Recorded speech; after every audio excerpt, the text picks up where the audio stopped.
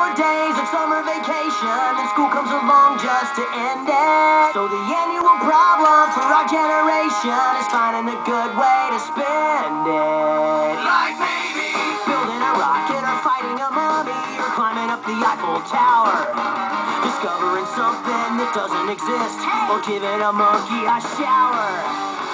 Surfing tidal waves, creating nanobots or locating Frankenstein's brain. over here. Finding a dodo bird,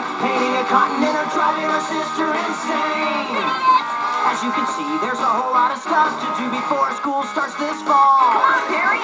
So stick with us, cause Phineas and Ferb are gonna do it all.